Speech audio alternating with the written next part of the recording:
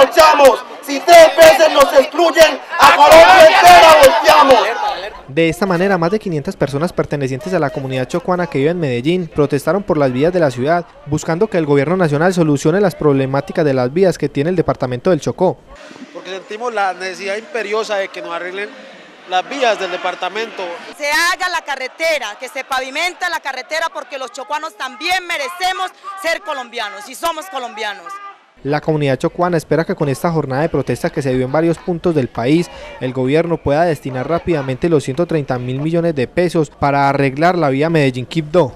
Entonces hoy nosotros exigimos la rectificación y pavimentación de esta carretera y que se dediquen los 130 mil millones de pesos que inicialmente se destinaron el año pasado y que ahora este año el gobierno lo recortó a 70 mil millones de pesos, como que no le importa la, la situación que se vivió, un gobierno indolente. Para esta población la problemática de las vías y de la poca inversión que hay en la región chocuana era algo que estaba invisibilizado. Hermano, eso es de toda la vida, el Chocó está invisibilizado.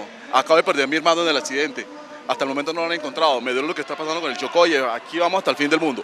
Ellos que son quienes verdaderamente padecen las dificultades que genera tener unas vías de acceso en pésimas condiciones, quisieron dejar una reflexión.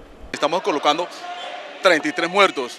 La pregunta es, ¿cuántos muertos hay que poner para que la gente comience a mirar al Chocó con otros ojos?